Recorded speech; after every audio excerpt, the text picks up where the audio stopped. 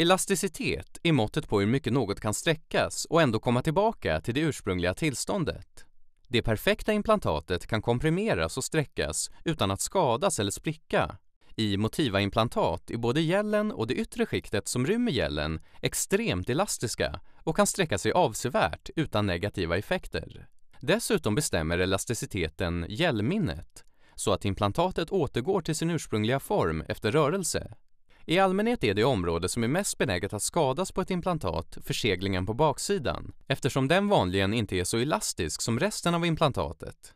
Men Motivas True Monoblock har en unik teknik som skapar samma elasticitet genom hela implantatet, inklusive förseglingen. Detta gör att skalet kan fungera som en hel struktur, vilket gör införandet enklare och förbättrar implantatets mekaniska kvaliteter under stress. För att demonstrera, här är en jämförelse mellan ett Motiva-implantat och ett implantat från en annan ledande tillverkare.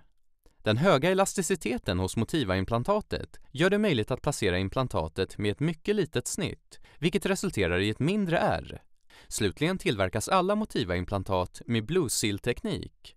Den här unika processen skapar ett visuellt barriärskikt som gör det enkelt för kirurgen att kontrollera att en sån viktig funktion är intakt före operationen.